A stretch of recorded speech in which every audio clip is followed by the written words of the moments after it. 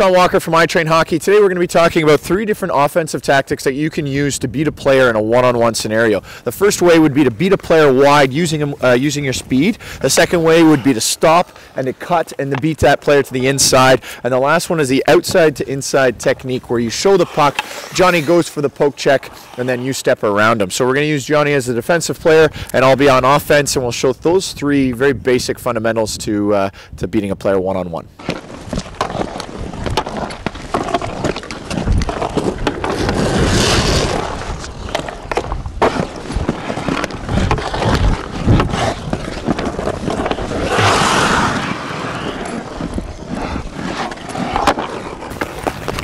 Yeah.